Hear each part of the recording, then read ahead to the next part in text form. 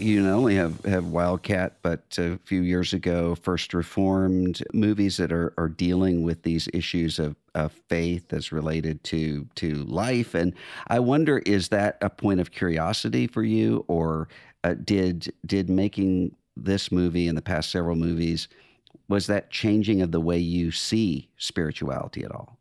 You know, there's three things I've done that I played John Brown in this Showtime limited series called The Good Lord Bird.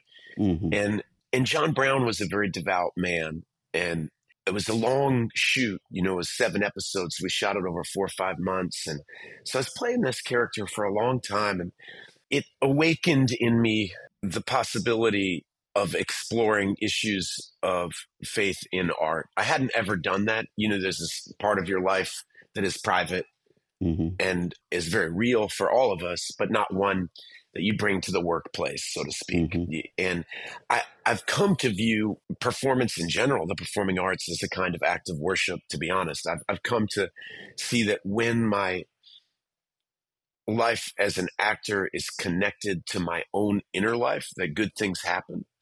And when my development as a person is connected to my development as an actor, good things happen.